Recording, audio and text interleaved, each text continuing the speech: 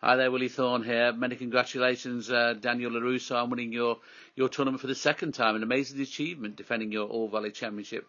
I understand it was a really tough tie against bad boy Mike Barnes and his partner Cobra Kai, but you came through the final with Kata with flying colours.